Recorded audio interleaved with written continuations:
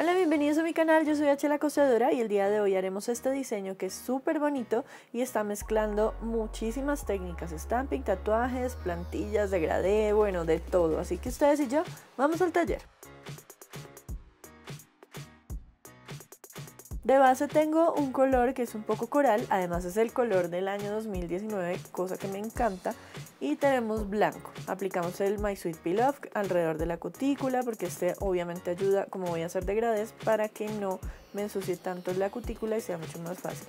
Ahora estas son las plantillas de decoración de uñas, son súper sencillas, pero sí es muy importante que cuando los vayan a usar la base esté completamente seca, o sea, ahí el blanco está muy muy seco porque si yo lo pego, lo toco, ahí yo estoy presionando, luego pongo el color y levanto, obviamente se va a levantar donde esté el esmalte fresco. El truco principal es que el esmalte esté completamente seco.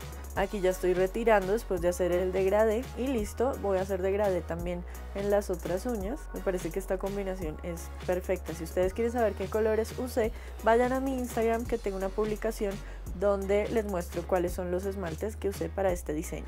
Retiro el My Sweet Off, la limpieza va a ser muchísimo más rápida y más fácil y ahora voy a usar los tatuajes de agua que son súper lindos, en este caso es el Sweet Patch. Un truco muy interesante con estos tatuajes y es que como ellos son un poco translúcidos, lo que hacen es que le cubren toda la figura con blanco, esmalte en blanco y lo dejan secar. Luego que esté seco, ahora sí hacen el proceso normal, ponerlo en agua, eh, máximo por mucho tiempo, un minuto, van a retirarlo, le quitan la capa blanca que está de ese lado quitan el exceso de agua, aplican una capa transparente o necesitamos que el esmalte esté un poco chicludito. Como ven, la parte blanca la pongo para la parte de abajo y así se va a ver muy bien sobre cualquier color. Lo presiono un poco y listo, luego paso brillo y ya.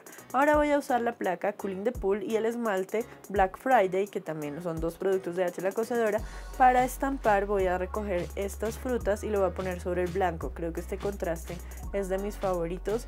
Este estampado sobre el blanco es muy bien, además porque ese con el negro es muy muy pigmentado y me da realmente el negro que necesito y no un gris como generalmente aparece. Por último aplicamos un brillo, en este caso estoy usando el brillo gel de H la cosedora Espero les haya gustado este diseño donde combiné muchísimas técnicas y a mí el resultado con los colores me encantó. Recuerden ver el video anterior y seguirme en todas las redes sociales. Les mando besos y abrazos al por mayor y nos vemos en el próximo video. ¡Chao!